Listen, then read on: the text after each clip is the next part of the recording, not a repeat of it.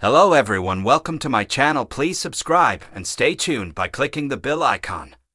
Coronation Street Star opens up on heartbreaking scenes after ultimate betrayal. Coronation Street's Courtney Vance has been cheating on her husband Darren since arriving in Weatherfield back in June.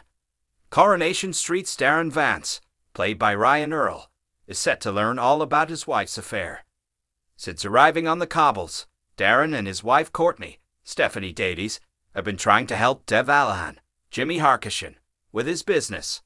However, Courtney took a liking to his younger son Aadi, Adam Hussain, and the duo have been secretly sleeping together for weeks.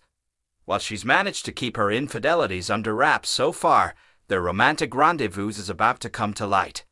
Speaking about the upcoming revelation, actor Ryan Earl teased that the scenes will be heartbreaking.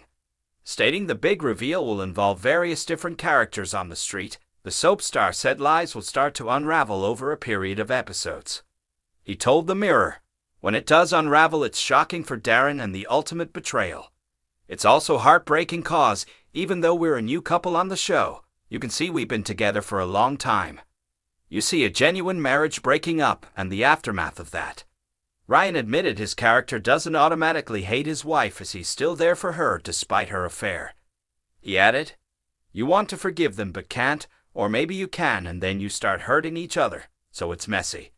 Touching on the moment, Darren discovered who Courtney had been seeing.